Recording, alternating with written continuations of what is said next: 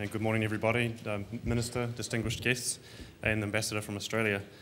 Um, I see I have about minus four minutes to complete my presentation, so I'll be rather quick. Um, and 20 also 20 minutes. 20 minutes, yeah. And also, just to be, to be clear, um, I'm, I'm, very happy to be here, of course, but I did not fly here for this conference. Um, I was in Europe. I would hate to see the headlines saying, you know, in the midst of economic crisis, New Zealand government representative flies to Ireland for one day conference on climate change. So, uh, very happy to be here. I'll get into it. Um, in my presentation, I'm going to give you a background on New Zealand agriculture, the context for agriculture. Uh, I then go through the, uh, the situation with regards to greenhouse gas emissions. Very quickly go over the policy framework that we currently have, um, and then talk a bit more about the research and some of the, I guess, more fundamental aspects of mitigating greenhouse gases in the livestock agriculture sector. so enough about Ireland, and let's look at New Zealand. Uh, we're a land-based economy. Uh, we have about 11 million hectares of uh, land in grazing livestock production. That's about half of our land area. Livestock are grazed outdoors year-round in New Zealand, and uh, grass is the, is the main diet of our livestock, whether it be grazed fresh or once, once it's been turned into uh, hay or silage. We have about 40 million sheep, about 5 million, um, just over 5 million dairy cattle, 4.5 million beef cattle, 1.5 million farmed deer, which would be rather unique, uh, and about 33 million lambs, which are often forgotten. Every year we have 33 million lambs coming and going. We produce about 40% of the world's traded dairy products. Uh, I think we're the largest dairy exporter in the world. We produce, um, was it 60, can't read this, 66% of traded lamb. And agriculture represents just over half of our export earnings. So it's absolutely vital to our economy. Now, in terms of greenhouse gas emissions, this is the latest inventory information from New Zealand, and as you can see here, um, our total emissions, excluding LULUCF, are 77.9 million tonnes of carbon dioxide equivalents. Uh, LULUCF represents quite a significant sink of carbon, or did in the inventory year that's represented here, and this of course changes over time as trees are harvested and replanted. But in terms of agriculture, you can see it's almost half of our annual emissions. 30, 37.7 million tonnes. And probably 98% of this would be from livestock. At least 98% would be from livestock, grazing livestock.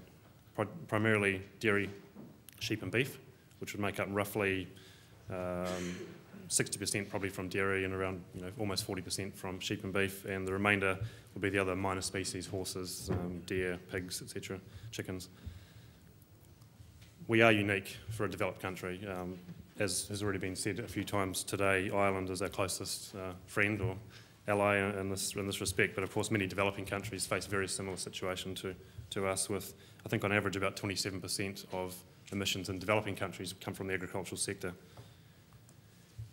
That's only an annual uh, look at our emissions. Uh, in terms of the trends in New Zealand and our commitments under the Kyoto Protocol, we have a target of um, 1990 levels of emissions over the first commitment period uh, or of course take responsibility for the excess above this. And in New Zealand's situation, there will be an excess. Um, we have had an increase of 26% uh, since 1990. And as part of this, the agricultural sector has increased 16% since 1990. And enteric fermentation has increased about 11%, and emissions from agricultural soils about 27%, which has been driven largely by uh, increased fertiliser use, and also the increase in dairying within New Zealand over, uh, since 1990. There's been quite significant restructurings in the agricultural sector in New Zealand due to the elimination of subsidies in the mid-1980s. And this has meant that the sheep population has roughly halved and the dairy population has almost doubled in that time. So it's been quite significant for, uh, for the economy, but also for greenhouse gases. Um, I must also stress that at the same time as we've seen an increase in absolute emissions, we have also seen a decrease in emissions per unit output and this has been around 1%, 1.5% per year, improving intensity of emissions, um, due primarily to animals producing more per head, uh, more milk, etc., and also lambing percentages increasing and the, the, the weights of lambs um, increasing. Now, in terms of the policies, um, we had an election uh, in November, and leading up to the election, there was a very, very large emphasis on emissions trading, and legislation was passed before the election. Uh, we still have an emissions trading scheme in New Zealand, but there has uh, a, a, parliamentary review process has been instigated, which is, is beginning now and is, I think, set to finish around September this year. We also have a sustainable land management and climate change plan of action, which is really the sort of framework that the emissions trading scheme works within, with respect to the land-based sectors anyway. Um, so I'll just quickly go over the emissions trading scheme and just remember that what I talk about is where we got to prior to this review process beginning and uh, everything is subject to change. In terms of the emissions trading scheme overall, it's an economy-wide, all sectors, all gases emissions trading scheme, which we believe is the only of its type, or planned to be the only of its type in the world. Sectors phase in over time. The forestry sector was uh, entering from the 1st of January this year, sorry, 2008, and agriculture from the 1st of January 2013. The units of trade are New Zealand units, and all New Zealand units are backed by assigned amount units that New Zealand government receives uh, as part of its allocation under the Kyoto Protocol. What this means is that participants in the New Zealand emissions trading scheme can trade uh, between themselves or internationally because every New Zealand unit is backed by a, a Kyoto compliant unit. So on uh, when, when a, participant in the New Zealand emissions trading scheme wishes to trade internationally, they go through the New Zealand registry and the units are replaced with uh, Kyoto compliant units. Basically, participants report their emissions and surrender units equal to those emissions uh, at each compliance period. The, the compliance, um, the, the, way we've handled compliance is much like our tax system. We're not checking every individual participant, but there are severe penalties for non-compliance, and we're just relying on the, the threat, I guess, of imprisonment or large, large fines for non-compliance, much like our tax system. Um, there is allocation to sectors that are most affected, and these allocations are, at least in the default in the legislation, are to be phased out over time. And again, all of these design elements are subject to the current review process. Just to move to the agricultural sector and look at this and some of the issues we've been exploring here, um, and the two key ones, I guess, point of obligation and alloca allocation. In terms of the point of obligation, the default in the legislation was set at the company or processor level. This minimises the number of participants in the scheme. It also captures a large proportion of the agricultural sector's emissions. Uh, we have you know, relatively few companies or processors operating in New Zealand, um, with you know, one major, major dairy company and a couple of other, or maybe two or three now, smaller dairy companies, and a relatively small number of meat processors, and really only two major fertiliser companies. So with you know, a relatively small number of participants, you can capture the agricultural sector's emissions. Um, farm level obligation is also an option, and we're looking in great detail at this. Of course, this takes some time to implement, and there are a lot of a lot of technical issues to to be um, worked through. Um, it would, of course, improve the incentives because the price signal is actually at the land owner or stock owner level, and that is the individual who has the greatest control over their operations. So ultimately, that would be the desired approach, but it just takes time to get there, I think, and would, of course, potentially increase the costs of, of compliance or the cost of the whole scheme. In terms of allocation, um, in the legislation, the agricultural sector is to be allocated 90% of 2005 level of emissions, and this is to be phased out between 2018 and 2030, which is that graph on the, on the screen there. It's a rather scary picture when you talk to the industry when they see that phase out going to zero. Um, and again, this is the default legislation, and this would be reviewed in accordance with the international obligations New Zealand has, in accordance with other international action being undertaken, and assessing the risks or the exposure of the sector to competitiveness at risk uh, issues. Uh, and also, really, to, to avoid the, the likelihood of regrets for a major structural change within New Zealand that may not have to happen in the, in the short term.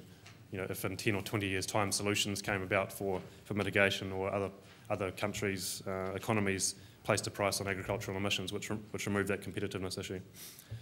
How the, how the allocation is um, distributed within the agricultural sector has yet to be established. So how the dairy or the sheep or the beef or the deer sectors received allocation has yet to be has yet to be established. And this will be a, uh, an interesting discussion because some sectors have increased since 1990, or some subsectors, and some have decreased since 1990. So it will be an interesting one. The the forestry aspects of the emissions trading scheme I've also included in this presentation. It's, it's very important for New Zealand and in the absence of mitigation technologies in the short term, of course, forestry is very important for land-based uh, activities, agricultural sector, and Um, in the legislation, we have forestry included from the start of 2008, start of the Kyoto Protocol, and this includes all new forests and all deforestation activities. So all post-1989 forests, or A&R forests, afforestation and reforestation forests, have the opportunity to claim the credits and the liabilities that go with those forests. Um, the obligations will rest with the landowners and bind future landowners once they've entered the scheme. And all uh, forest owners would receive New Zealand units. Of course, can, they can be converted to Kyoto compliant units for international trading. I've already mentioned the importance of forestry for agricultural offsetting, and that you know there is significant land area in New Zealand able to be planted. Um, we've done some work which suggests perhaps up to a million hectares is, is suitable for, for afforestation, uh, relatively low, product, low, low productivity, um, erosion-prone land. Now, deforestation is also uh, included because due to the, I guess, the international commodity prices, um, dairy farming being quite favourable, or at least has been in the last few years, there's been quite a lot of plantation forestry that has been cleared in New Zealand and turned into dairy farming. Now, arguably from a uh, sort of economic perspective, this is absolutely rational and, and, wonderful, but from a Kyoto Protocol perspective, this creates huge liabilities. So we have included this in the emissions trading scheme. So all of these landowners who convert, even though they are plantation forests, convert these forests to pastoral land, will face the liabilities or the majority of the liabilities of this activity. There is an allocation to um, these forests to account for some of the land adjustment, uh, land value adjustment that has occurred due to this rule. Um, and you know we are working very, very um, hard in the international negotiations for post 2012 to ensure that maybe some of these rules don't apply from 2013 onwards because they make little sense to us um, when you can re-establish a forest uh, somewhere else as potentially an offset for this for this sort of activity. The, the other major policy emphasis, and I could talk for probably an hour on this alone, um, but I won't, um, is the Sustainable Land Management uh, and Climate Change Plan of Action. Now, this is a inv total investment of about 175 million over the next five years in the land-based sectors, and this is including livestock, also horticultural production, forestry. It is based around three pillars, adaptation, mitigation, and business opportunities adaptation, of course, uh, is, is, vitally important in, this, in the climate change um, context. Uh, for New Zealand, we, at a national level, we don't fare too, too badly in the short term, but within New Zealand there are some regional, regional issues and, and things like droughts on the east coast of New Zealand, increased rainfall where we really don't need it on the west coast, and the, the sort of greater frequency of extreme events, floods, snow events, out of season, I guess out of season weather is the key thing for us.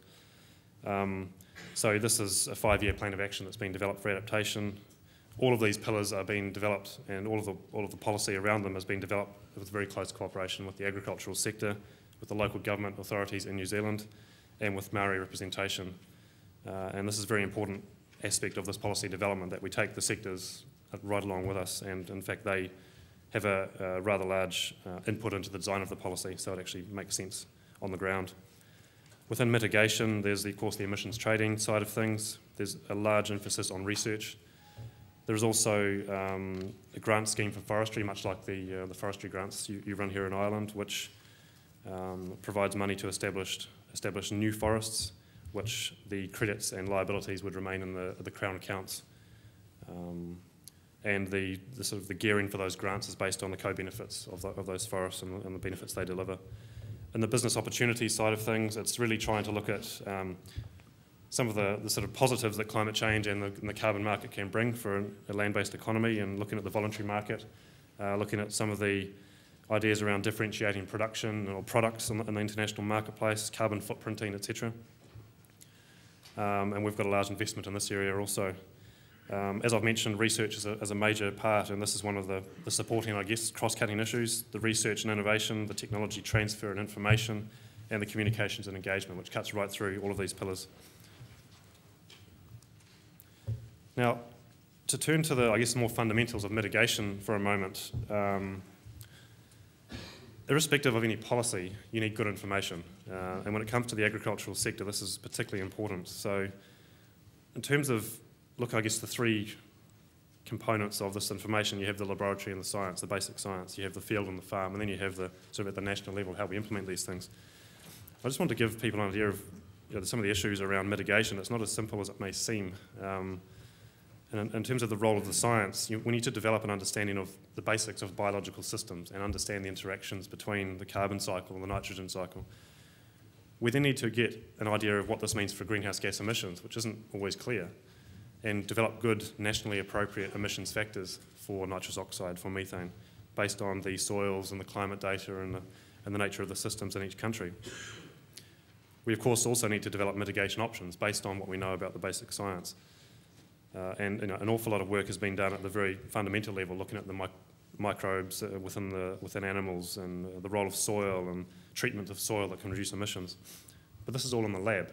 Then you take it to the field and the farm and you say, how does this, this new idea fit within a, within a field or within the farm? So you need to evaluate these options within a whole farm system. And you know, although experimentally you might have 50%, 70% reduction shown, when you take it to a farm situation, when you have all the interactions with climate and soil and, and human behaviour and animals walking around, uh, these, these percentages can be reduced quite dramatically. You need to think about what the, what the mitigation option uh, does to productivity. And if it, if it just removes all productivity or stops the animal eating grass, then it's not very viable um, the, the, farmers need to be, um, be, be, able to implement these, these options. They need to understand um, how they work and make the necessary adjustments in the farming system, whether that be implementing the option within the system or making changes to the system itself.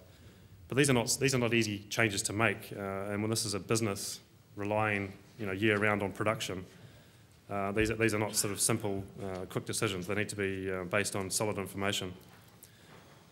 Then at the national level, to actually make this count in the Kyoto Protocol books so that the government can actually show a reduction of greenhouse gases, we need to aggregate all of this information together in the inventory. So we need to aggregate all estimates from all sources of greenhouse gases. We need to aggregate all of the activity data, so all of the animal numbers, modelling all the population flows throughout the year. We also need to aggregate all the mitigation activities that have taken place. So how many farms used a nitrification inhibitor, how many farmers fed their animals a different type of feed, etc., etc. Differentiating the different fertiliser types. We then need to put this all into an annual national inventory. And then, we, of course, we need to think about the appropriate policy design at the national level, how to, how to implement these policies. So, you know, it's a complicated picture, um, and it really relies on good information right at the outset, irrespective of whether we have emissions trading or regulations or what have you. So in this respect, the investment in New Zealand in research has been quite substantial over the last number of years. Uh, within my ministry, we've invested, uh, as part of the plan of action, we'll invest about 40 million over the next five years in, in this area. Mitigation research, um, looking at rumen function, nitrous oxide emission estimates, even developing urine sensors to try and estimate the quantum and the concentration of nitrogen within urine out on the field, looking at novel mitigation approaches, some of the sort of, um, I guess, snake oil salesmen that come up to you and talk to you, you know, can you actually evaluate these, uh, these ideas and, and, see whether they have some credibility? Um, looking at the role of soil in actually oxidising methane. Um, another part of the, the money is spent on developing an inventory so we actually can turn these options and practices into real numbers. And this is, of course, all around good practice of inventory design, getting good handle on our projections of emissions, a modelling that goes into inventory, and reviewing emissions factors so that they actually can stand up internationally to, the, to uh, international review. We, um, we also have money invested in monitoring and measuring farm emissions and mitigation. Now, this is built on the, uh, a nutrient budget model called Overseer, which uh, was developed by, by my ministry, by uh, a number of players in New Zealand for fertiliser, effectively. Um, and much of the information you need to develop a nutrient budget uh, can, can basically give you your greenhouse gas emissions at the farm level. So we're looking at turning Overseer into a greenhouse gas uh, tool at the farm level, which in the event of emissions trading where the point of obligation was at the farm level would be a very useful tool and would avoid duplication and creating new tools, um, given that many farmers are familiar with Overseer at the moment. Technology transfer is another, another uh, big area that we're looking at, um, demonstrating these practices to farmers using the existing farm monitoring programs that exist within the dairy industry, within the sheep and beef industry, um, and also building on our Sustainable Farming Fund, which is a, a bottom-up uh, fund that we run in our ministry, and we've created a new climate change aspect to this where projects can be developed from community groups um, and farmer groups and proposed to the ministry for, for funding typically these are sort of two to three year projects. We also have a greenhouse gas footprint strategy, um, which is, uh, I guess the emergence of this was the food miles discussions that have happened for a number of years and saying that if it comes from New Zealand it's bad because it's you know travelled 12,000 miles. Um, and our response to that was, well, obviously no, it's not, um, because you need to look at the whole system. And of course, where we're going now is the, the idea of retailers actually putting labels on products. So you know, we, we believe we're in a very um, strong position with the, with the work we've done to date, and we're continuing this work uh, with our sectors. And we have, um, we have projects underway on dairy, lamb, kiwi fruit, wine, forestry, onions, and berry fruit. And I understand beef and deer is also, is also on the cards in the next year or so. Uh, and this is really to develop um, methodologies and uh, footprint approaches that are consistent with all of the international standards, but also make sense for us um, so that the scope is correct for, for pastoral uh, agriculture in New Zealand.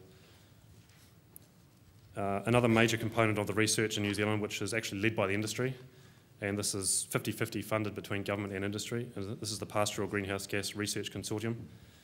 Um, and it's a collaboration of science, farming and business op businesses operating within the, uh, within the agricultural sector. Um, I'll, I'll, skip this. I mean, there's a lot of work they're doing They're looking at evaluating forages, the microbes, they're looking at work on vaccination for methane reduction, looking at whether you can breed, breed low emission animals. Um, and this is entering its second phase of research. There's been uh, the five year first stage and now the second stage is underway and they're spending about 25 million over the next five years uh, on this. And we also have a, an international, um, I guess, steering group or um, strategy group that, that assists the PGGRC in developing its research priorities. And uh, I think um, an Irish scientist is on that group, Mr. Frank O'Mara.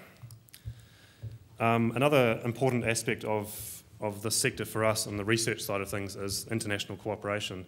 You know, while, while greenhouse gas emissions from, from agriculture in New Zealand are 50%, uh, I've also said that developing countries and other countries have a large share of their emissions from agriculture, and many developing countries are around 50%, and I think Uruguay is actually 85% of their emissions are from, from agriculture. So there's an interest in the other, you know, the developing countries uh, to find solutions and, and build understanding of, of how to reduce these emissions. So we set up the LEARN network in the end of 2007 and the genesis of this actually was um, from a New Zealand and Irish um, collaboration in the middle of 2007 where we held a couple of side events at the Bonn climate change meeting and we side event, uh, for those who aren't aware of the process, is, is really just a sort of couple of hours of presentations and discussion where we focused on agriculture. And, and you know, it's quite a rare, rare event to have a side event on agriculture within the discussions in, in the UNFCCC.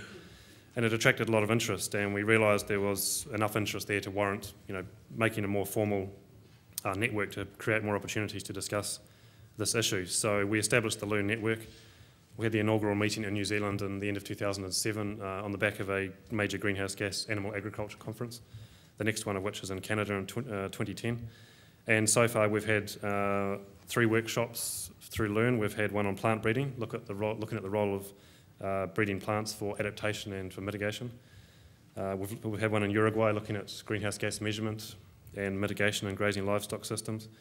There was one recently in Peru looking at the um, Andean systems um, and the specific nature of those systems and the challenges of them. And we have one planned for March this year on livestock breeding to mitigate enteric fermentation.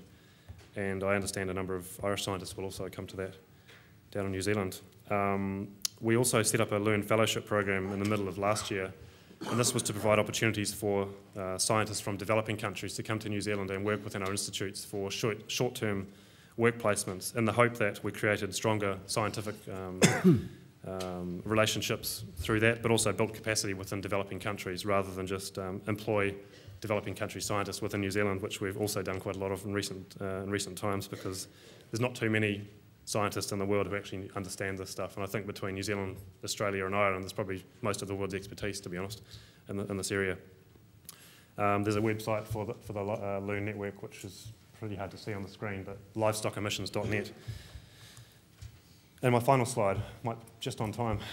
Um, just to conclude, um, you know, like I've said, the technical challenge for effective mitigation of livestock greenhouse gas emissions are still significant. You know, we're a long way off to actually eliminating emissions, but we can make reductions, we can make improvements.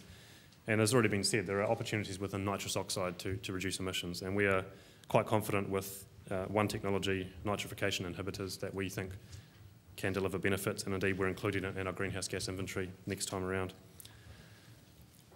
And some of these solutions are advanced experimentally, but they need to be verified uh, in different physical and environmental conditions and at the national level, and of course around the world. Um, in some respects, there's no point reducing New Zealand's emissions to zero in agriculture if they go up everywhere else. We need to find solutions that can be applied universally, or as much as possible universally.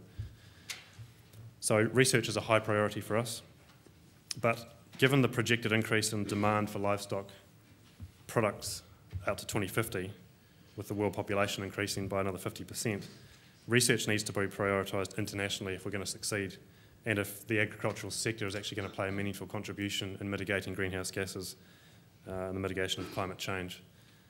You know, the expectations on the agricultural sector and what the sector can deliver in the short term need to be, to be understood as well. And emissions from the sector will not go down in the short term, that is quite clear. So we just need to make the best of that and, and produce food as efficiently as we possibly can. But that can only be done with international cooperation. Uh, in terms of policy approaches, farmer buy-in is absolutely critical. Um, we've been through consultations for the last probably seven years in New Zealand, and there's been some very heated discussions. Uh, and bringing people along with you in, in, the development of policy is extremely important, and we've done that with the plan of action. And you know, we're confident that we can uh, we can guess, tackle the challenges we have in New Zealand with half of the emissions from agriculture. Uh, and it's going to be painful for some, but I think you know, overall um, everyone's on the same page at the moment. Um, and you know, ultimately, like the EU um, emissions trading, the new, the new bill has recognised we need to address competitiveness issues and leakage. And we also need to address the inability to pass on costs to consumers at this point in time when you have less than, less than complete coverage. There simply isn't any way for exporters like us to pass on the cost to the consumer. Um, you know, and there's, there's movement in the, in the retail sectors around labelling and things, which I think, you know, is useful, but it's only useful if everything's labelled and people can make you know, rational decisions. So I think I'll just leave it there. Thank you very much. Thank you very much.